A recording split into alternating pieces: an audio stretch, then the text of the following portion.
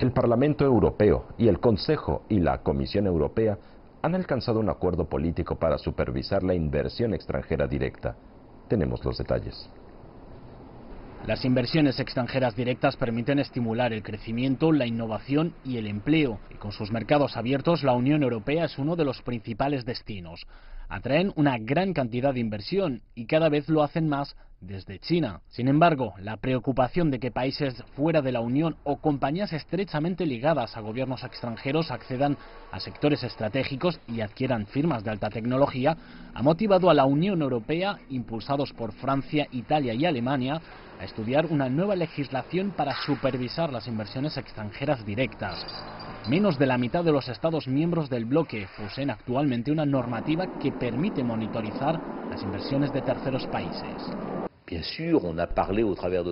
Por supuesto que este informe concierne a China, pero también a otros países como Rusia u otras potencias, que a través de la inversión extranjera quieren tomar el control de un sector. Cuanto mayor control se conceda, mayor es la dependencia que se crea, y esto puede convertirse en una amenaza para el empleo en ese sector. Algunos son sectores estratégicos, especialmente para la seguridad de los estados.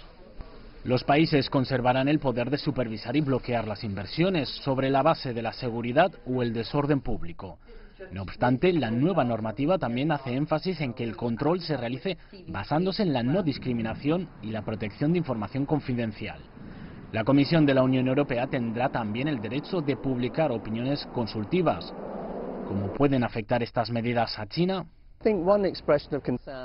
Es un signo de preocupación que China se haya dirigido a sectores específicos como la robótica y la inteligencia artificial, por lo que quieren garantizar una reciprocidad, ese famoso marco de igualdad. Ese es el objetivo de esta legislación.